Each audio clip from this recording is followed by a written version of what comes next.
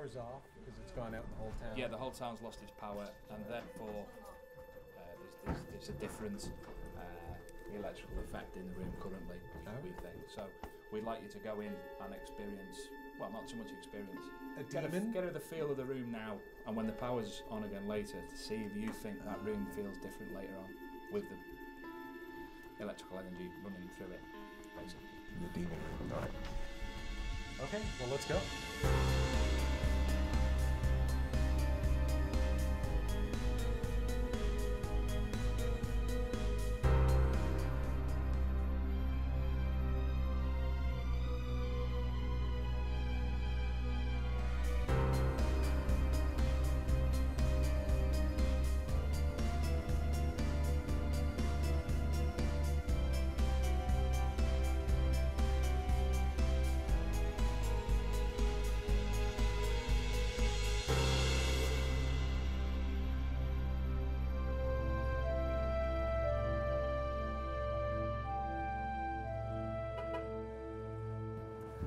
White Hart Hotel.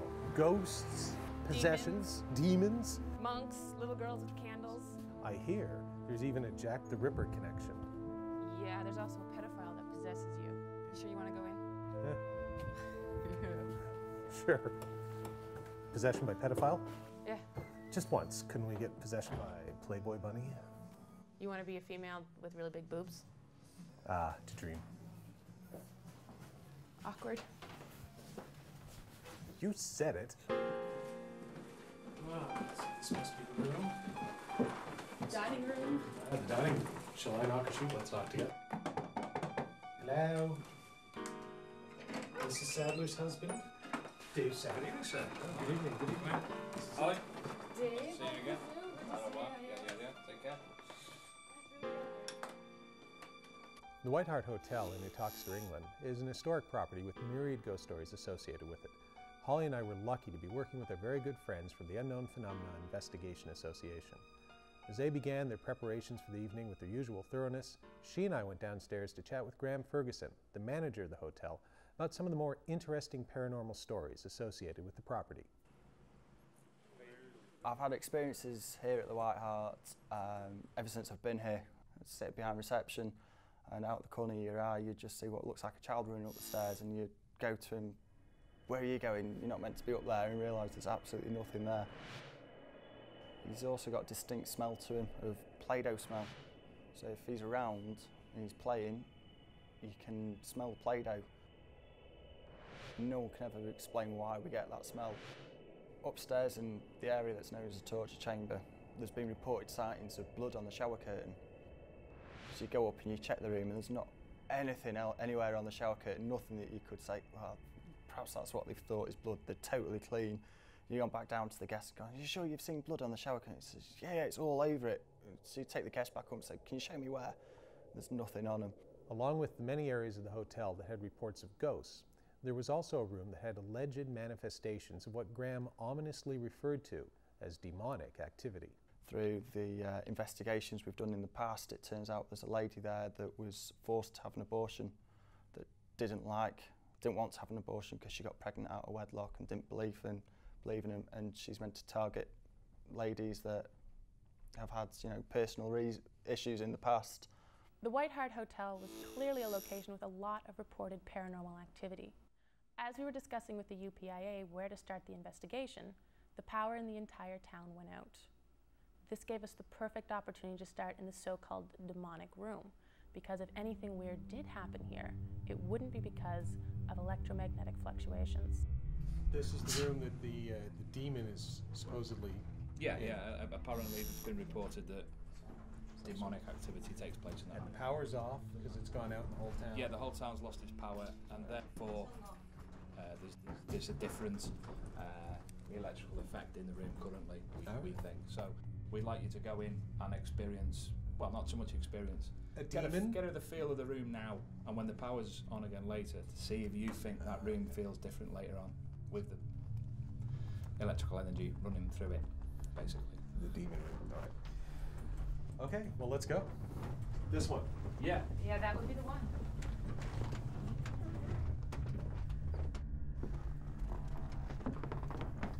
Demon want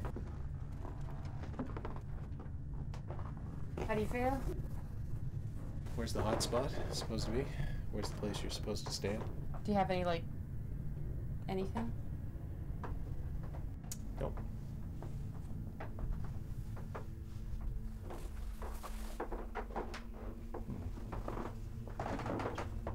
I, I don't like this room. I mean, it's a gorgeous room, but I was standing right here. I didn't tell them this. And uh, I was just like, there's something wrong with this space. It's just blah. That, did- my head did that. Anyway, the whole bed itself actually is surrounded by uh, bad levels of EMF. But with the power off right now, you're gonna lie on it. That's fantastic. With the power off, they're not detecting any of the EMF in this in this room that they were getting before. Now, it feels different. It doesn't feel as strange, but this room still hurts my head. It's weird. Even though the EMF levels have dropped, So, what did you feel? it's uh, awkward. I don't feel anything. It's just a room. No. Hello, demons. Any demons?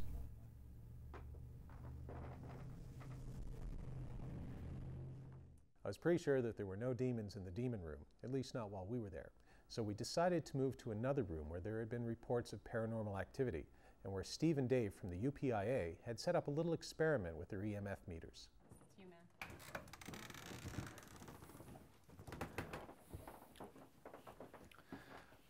Right, uh, Paul and Holly. Basically, we've got a unique opportunity, uh, one that we probably never have before, and it's unlikely we'll ever have again, to investigate certain parts of the building for certain things in particular today. Uh, the town has had a, a power cut, sub, sub, amazingly, brilliantly, and it's given us the opportunity to do a sensor sweep um, with the EMF equipment uh, in relation to sensor sweeps that we've done previously. Uh, and, and this is this is, as I say, a fantastic opportunity because we can we've mapped certain locations of EMF hotspots and we're able to now look into them hotspots and see if they still occur. occurring now the power's off. And the power's off. It's not even, it looks dark in here, but it's actually still daylight out there. It's daylight and all the shops and premises locally within a quite a, a wide area of there's been a, a substation gone down and all the power's gone locally. All right, well, let's take advantage of this opportunity. Let's start with the bed. Okay, baby. That's, that's, Why? Why? Why? With the power in the town off, we had a rare opportunity to run some controlled comparative tests in the torture room to see if perhaps the EMF levels were responsible for the paranormal activity occurring there. Currently, we've got a high EMF, as you can hear. The Gauss meter is uh, registering uh, four on the scale. sounds like Daleks. If I try and give it a bit of a rub, etc., etc., it should. That's my hand that I've just discharged with. Yeah. Go higher. Does that go higher? And it should be going lower.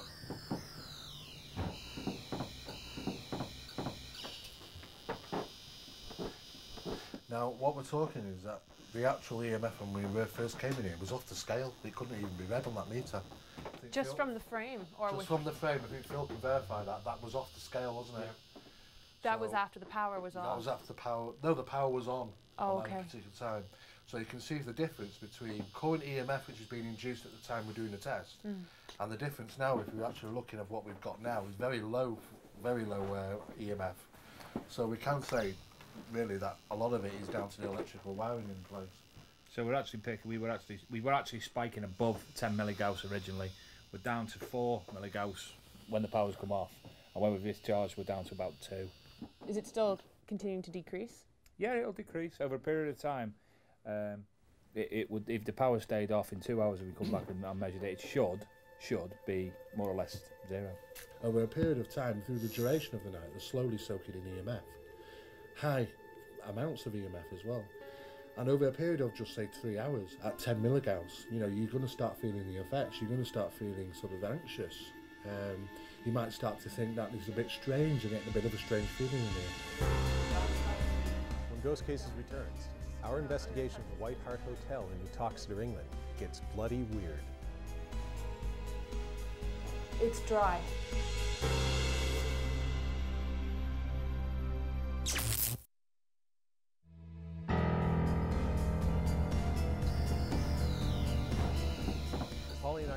Our investigation, strange things start to happen in the White Hart Hotel.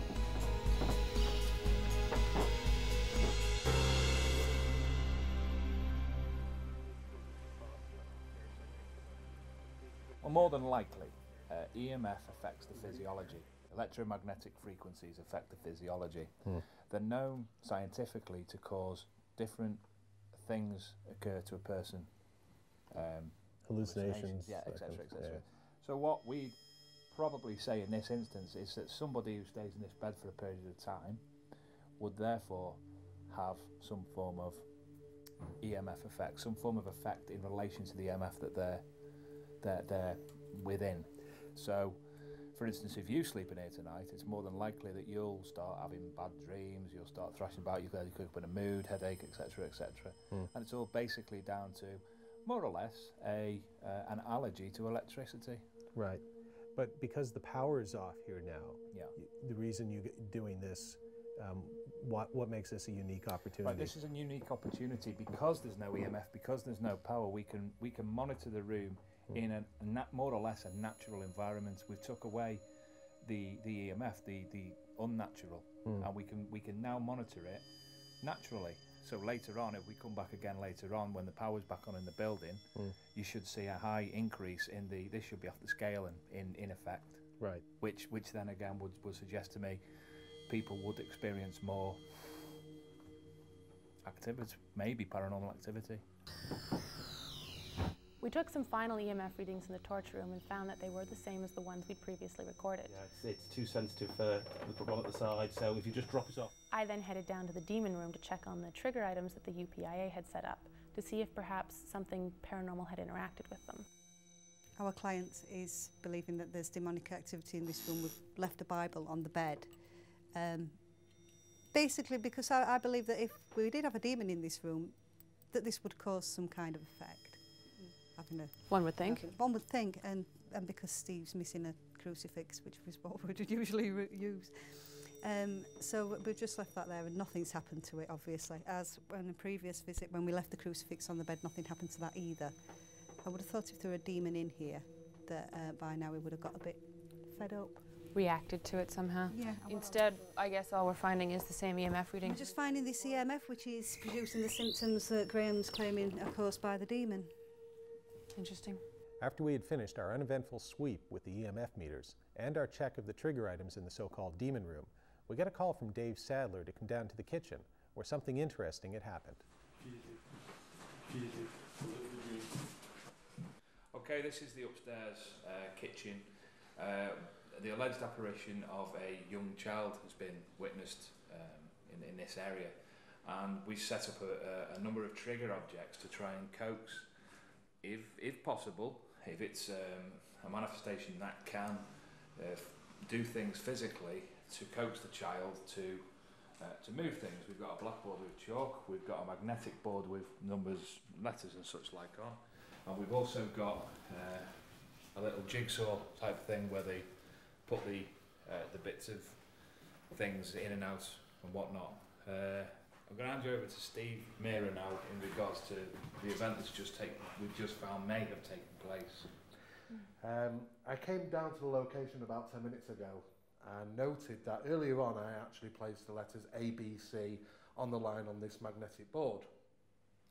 And when I actually came back to the location, the letter B was off and slightly down at an angle, which I noted that um, uh, nobody had been in this area because we've been quite strictly controlling it. We've had red tape uh, across the doorway to restrict people from coming in. And the, the location was left in the dark as well. And about five minutes ago, we came in here in the dark, we switched on the lights, we came in, we noticed that uh, it was obviously at an angle. So what we've done now is we've set up uh, our own video camera, which has infrared, and we're going to be filming in the dark. We're going to exactly the same conditions as to when the phenomena took place. So we're going to leave the, this particular area in the same conditions, such as no lights on. We put the letter back to where it currently was at the beginning of the night. Uh, and basically we're going to leave this area, lock it off again to see if we can get, uh, get it to happen again. As Steve and Dave sealed off the kitchen again, I got a report from one of the UPIA investigators, Phil Boardley. Apparently, he had experienced something very similar to one of the paranormal stories that Graham had told us. As I walked in, I got I got hit by a blast of the smell of Play-Doh. which is associated here with the ghost of a child which we've nicknamed Thomas. He's quite often seen, the smell, he's quite often smelt. Uh, I'm a disbeliever in, I'm, I'm a skeptic when it comes to ghosts, but I've smelt it now on two different occasions here in unexplained circumstances. Upstairs, I got hit by a major blast of it. My eyes were sore, and my nose was streaming, and I felt nauseous with the smell of it. Uh, but it went almost immediately. It was at this point that things started to get very weird very quickly. A call came in on the radio that a substance that appeared to be blood had been found on the shower curtain in room 18. Shower curtain there has got red slosses on, which it didn't have before. Incident as in, can we get in here to look? Yeah, you see the splatters. One of the things reported in here was blood on the shower curtain. Yeah. Yeah. There's been at least uh, at least half a dozen people in here who haven't seen that, including me the time before last. I was in here at 10.15.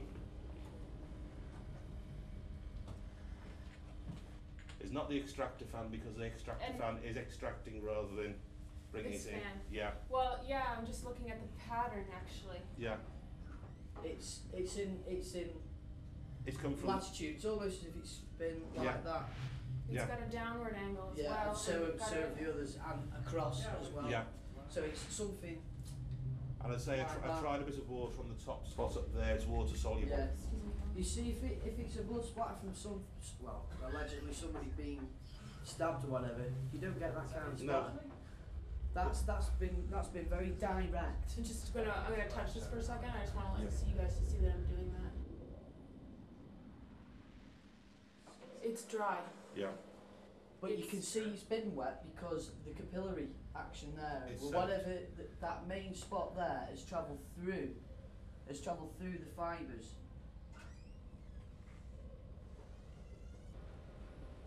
It's hardened and it won't break up again. initial thought was it's too profound to have just happened at that time. But then, nevertheless, you know, uh, we have to actually look at that and disprove the fact that it is blood. At this stage, it's far too early to actually say it is, to conclude it is. Our pre-conclusion is, is that it's, it's some type of um, liquid which is which is dried on, on the top of the shower curtain. But at this stage, our, our pre-conclusive stage, we're saying that it, it could be something unusual, uh, and if it does turn out to be blood, then um, we really haven't got an explanation for it at this time. Finding what appeared to be blood on the shower curtain in room 18 had everyone in the investigative team pretty excited. But the UPIA handled it like professionals. They sealed off the area and treated it like a crime scene while they took photos and samples. However, when Graham was informed of what we'd found, he was pretty shocked and more than a little shaken. The guys up uh, upstairs were shouting up and down the stairs going, there's blood on the shower curtain, blood on the shower curtain. And I thought they were pulling me chains, so I went up to have a look for myself. And I walked into the room and I felt it was sick to my stomach and saw all splattered across the top of the shower curtain, blood or what looks like blood. I had to get out of that room. It was the weirdest feeling I've ever felt in that room and I've never ever seen the blood there.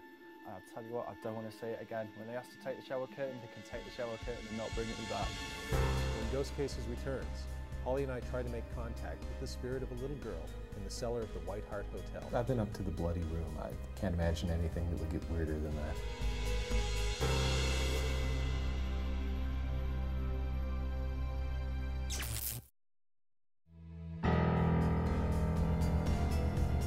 As our investigation continues, Holly and I try to make contact with the spirit of a little girl in the cellar of the White Hart Hotel.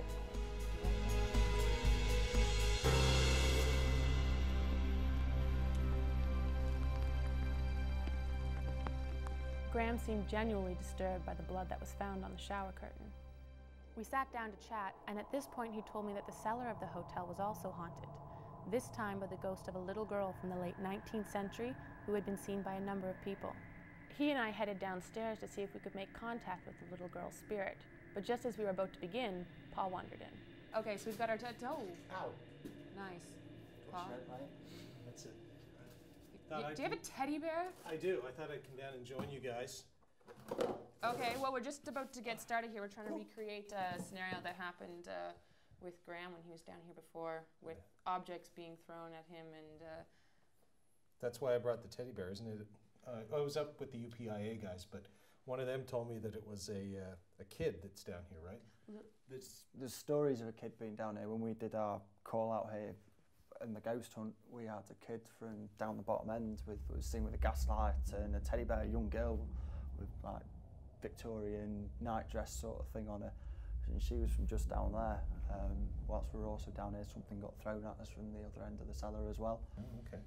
And he personally saw this. I was personally here and uh, it scared the living daylights out of me. Yeah, so now we're trying to do it again. Cheers, guys. Really appreciate that. Um, as I just said, we've got our we've got our temperature. What's it reading right now? 18 degrees Celsius. 18 degrees Celsius. Um, we've got an ADR here set up that's recording. And can you walk us through what we do here? Yeah, um, in our ideal world, we would want to be uh, sitting down here holding hands. Oh. Teddy bear can join in too. It's very sweet. So where do Oh, we want put the, him on the floor. Where do we put the teddy bear? You can Put him just somewhere safe. sit back there. So maybe he'll move. Oop. I like that. And then, I'm afraid of intimacy, so that's if- from home for me. and then if we take it into turns. Hey, hey, hey, hey! You guys gotta hold hands. Uh, Oh, this is great. going to be If we're taking turns to either ask for if there's any spirit people down here to bang something, move something, uh, touch one of us, who knows, it might happen again for us if we're really lucky. All right. So I, okay. So do we have to close our eyes? You don't have to close your eyes, just do it. Just shout it out loud.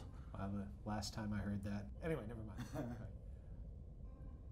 Holly? All right. So if there is uh, if there is a, a spirit down here, if there is some sort of uh, unknown paranormal entity that would like to communicate with us, we would be willing to accept your communication at this point in time. So feel free to reach out and touch one of us.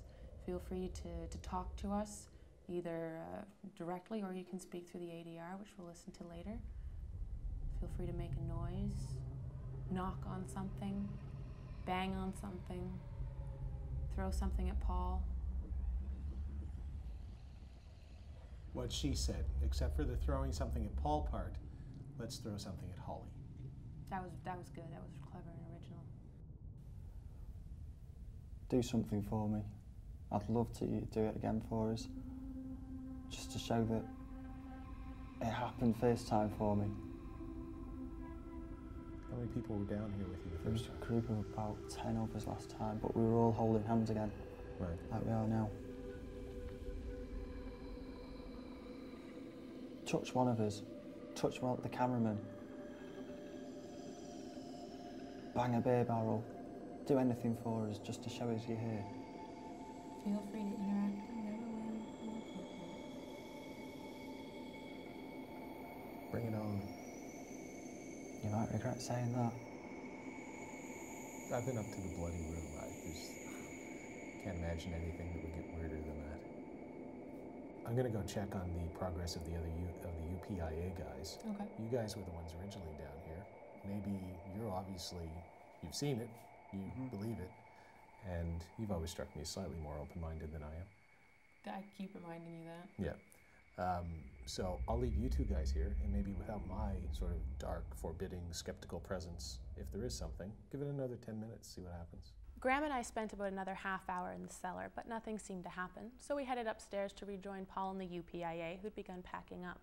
It wasn't until later that we discovered my audio recorder had picked up an eerie, childlike voice as I was leaving the basement. And we're back upstairs now.